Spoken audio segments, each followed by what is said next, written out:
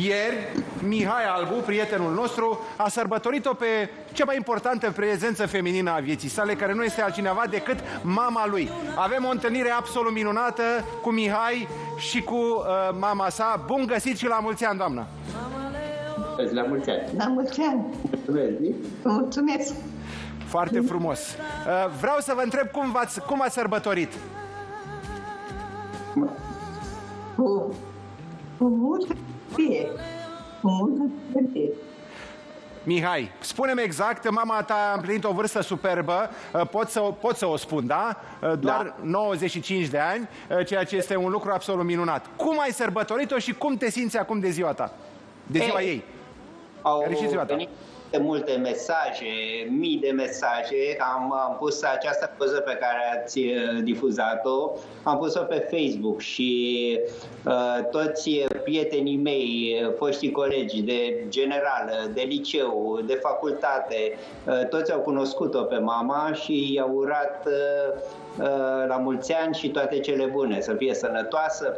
Mama a împlinit 95 de ani ieri, Uh, nu, alaltă alaltă pe uh, data de 19 februarie și uh, uh, am făcut tort, a primit telefoane de la toate rudele noastre, de la prietenele ei, de la cunoscuți. Uh, a fost o zi, cred eu, minunată pentru mama. Așa a fost, da.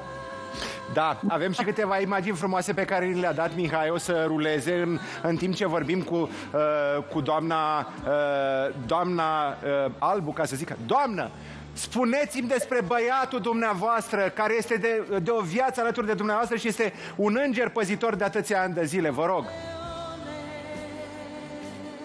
Să spui despre mine. Sunt fericită pentru că stau cu băiatul meu. Foarte frumos. Are grijă de mine și de toate. Îmi face viața să o simt ușor și să mă bucur de orice clipă pe care o trăiesc. De absolut tot. Foarte frumos. Uh, Mihai, uh, tu te-ai emoționat acum, așa cum de altfel știu, tu ești un om cu foarte mult suflet și stau și mă gândesc acum că noi anul trecut când am văzut de ziua, uh, de, în ziua în care ne-am despărțit de regină, tu mi-ai spus, aș putea să vin, dar mi-era foarte greu pentru că mama ta a trecut printr-un moment greu și iată, acum de ziua ei sunteți împreună, nu-i așa? Da, da, uite, Da, bine, da. de atunci de când am vorbit au mai fost niște evenimente. În momentul ăsta uh, trece prin clipe destul de grele. În decembrie, la sfârșitul de decembrie, chiar înainte de Revelion, uh, a căzut în casă și și-a fracturat bazinul. Acum este în uh, recuperare. Uh, În principiu face un efort uh, foarte mare, că stă în poziție șezut, nu prea are voie.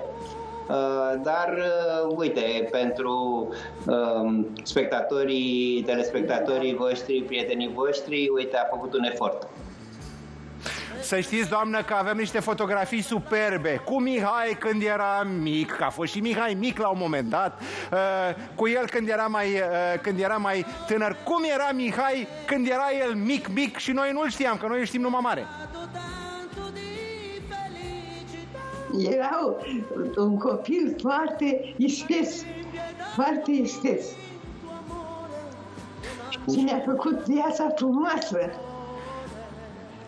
Uh, Mihai, cred că în momentul ăsta tu te simți fericit și foarte emoționat că ești lângă mama ta uh, și uh, vreau să vă propun lucrul următor, să continuăm acest uh, dialog foarte frumos uh, pe data de 8 martie, când aș vrea să vorbesc despre relația voastră și să vorbim despre cum au fost uh, călătoria mamă-fiu uh, de-a lungul anilor. Vă mulțumesc foarte mult că ați fost astăzi alături de noi. Continuăm pe 8 martie. Uh, Doamnă, să fiți sănătoasă și să ne vedem și la 100 de ani, da? Mă mulțumesc din toată inima. Să, să, Mă bucur, îmi face cinstea asta. mulțumesc foarte mult, doamnă. Mihai, uh, felicitări. Ești un om grozav. Uh, Toate cele bune, doamnelor și domnilor. Mâine alte surprize din partea noastră. Pa!